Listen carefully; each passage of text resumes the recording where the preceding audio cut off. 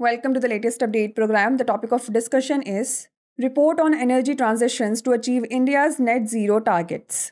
Recently, a report titled Synchronizing Energy Transitions Towards Possible Net Zero for India Affordable and Clean Energy for All was launched. The report is crafted by IIM Ahmedabad as part of a study project initiated in November 2021.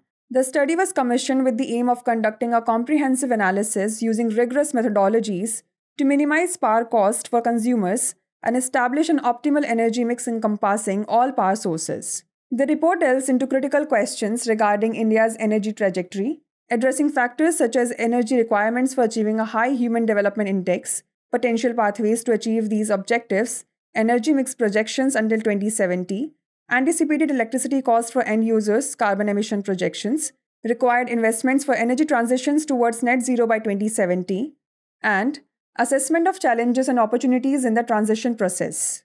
Let's discuss key conclusions of the report. There is no single solution to achieve net zero. Rather, a combination of pathways and technologies is necessary. Coal is expected to remain a significant component of India's energy system for the next two decades. Achieving net zero by 2070 necessitates substantial contributions from nuclear power and renewable energy sources. Decarbonization of the electricity sector must occur well before 2070 to achieve net zero. India's emissions are projected to range between 0.56 and 1.0 Bt carbon dioxide in 2070, with any remaining emissions gap offset through sequestration measures as outlined in the nationally determined contributions. Policies on critical minerals and carbon dioxide removal technologies will be crucial for phasing down coal. Affordable and clean electricity with low levelized cost can be attained through net zero pathways, particularly emphasizing nuclear and renewable power. Significant electrification of end use sectors is necessary, with electricity projected to constitute 47 to 52% of total final electricity consumption compared to the current 18%. Financial investments totaling rupees 150 to 200 lakh crore over the period 2020 to 2070 are estimated, with substantial international financial flows anticipated.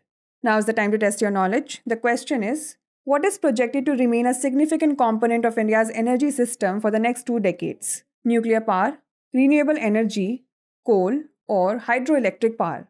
Send the answer to this question in the comment section. Thanks for watching. For more informative content, like, share and subscribe and do not forget to press the bell icon to get the notifications.